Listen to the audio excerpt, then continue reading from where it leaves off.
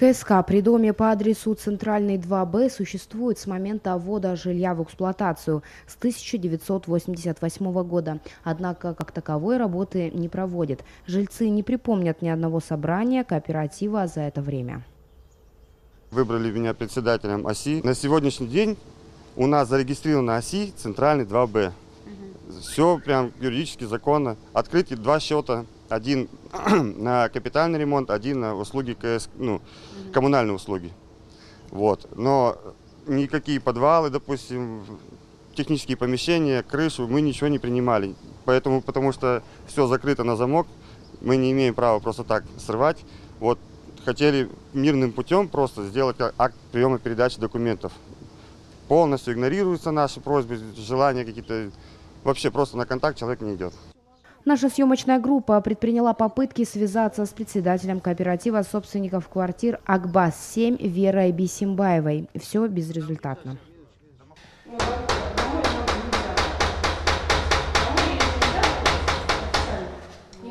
Прям сказали, что именно 20 числа Секунду, подождите. акт приема передачи. Акт приема передачи, получается, было. Было?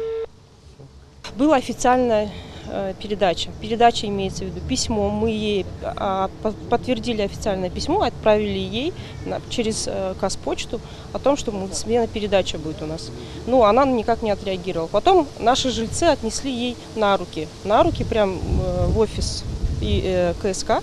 Э, та- там она тоже не отреагировала.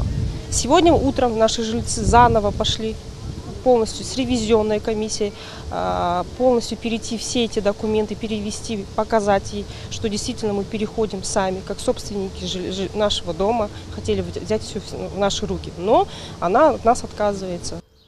Напомним, жильцам многоквартирных домов на выбор предложено два варианта – объединение собственников имущества и простые товарищества. Новая схема рассматривается как альтернатива КСК. Она официально вступит в силу с июля 2023 года. Айгерим Бегенова, Дархан Мужубаев, Амир Койшибаев, Кукщак Парад.